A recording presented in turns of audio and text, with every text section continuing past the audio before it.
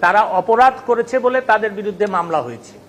এখন যিনি এজাহারকারী তিনি যদি সেখানে আমি জানি না, উনি বলছেন, তারপরেও আমি সেই জন্য বলছি যে উনি যদি কাউকে অভিযুক্ত করে থাকেন, সেই অপরাধের মধ্যে যিনি মৃত, অবশ্যই আপনার সেইটা ইয়ের থেকে, এফআইআর থেকে যখন চার্জশিট দেওয়া হবে, বাদ পড়ে যাবে। এই- এইগুলি বিষয় নয়।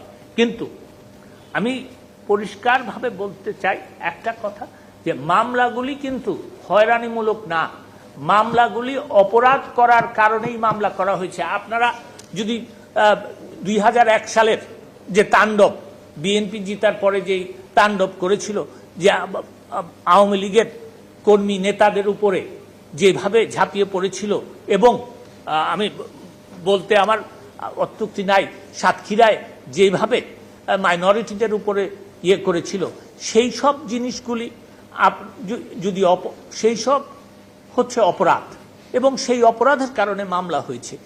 মামলা তো অপরাধ ছাড়া হয় নাই। কোনো হয়রানিমূলক মামলা হয় না যে উনি মিটিং করতে গেছেন, সেই জন্য মামলা করে দেওয়া হয়েছে। নো অপরাধ করার পরেই মামলা হয়েছে। আমি সেই জন্য বলি যে হয়রানিমূলক মামলা, সেটা হয়তো করা হবে না। দেখেন, আপনাদেরকে বলতেই হয় যে মাননীয় প্রধানমন্ত্রী জননেত্রী শেখ হাসিনা এবং বাংলাদেশ আওয়ামী লীগের যে সুষ্ঠু এবং অবাধ এবং নিরপেক্ষ নির্বাচনের ব্যাপারে আমাদের অবস্থান যে পরিষ্কার, সেইটা কিন্তু আমরা প্রমাণ করেছি।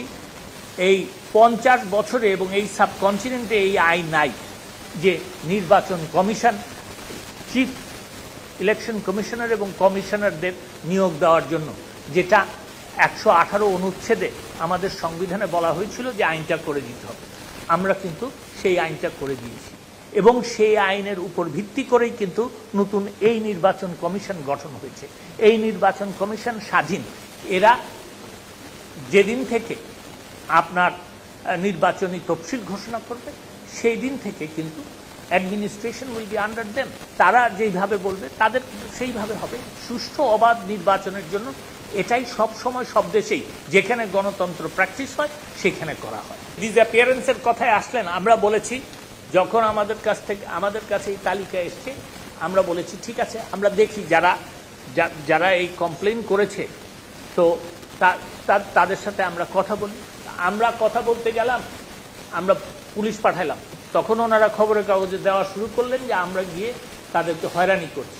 আমরা বললাম, ঠিক আছে পুলিশ পাঠাবো না।